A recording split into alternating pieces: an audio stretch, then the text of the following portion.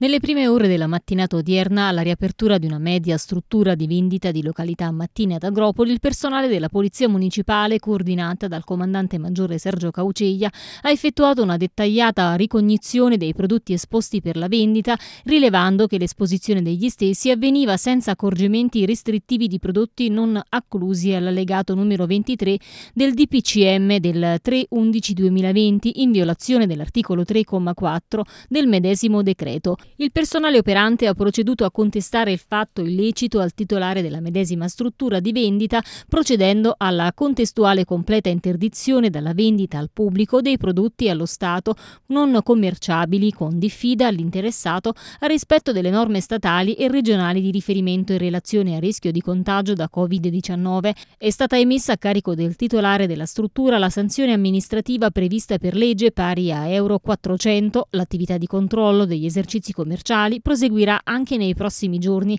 anche con mirati servizi ad opera di agenti in borghese autorizzati dal comandante Cauceglia.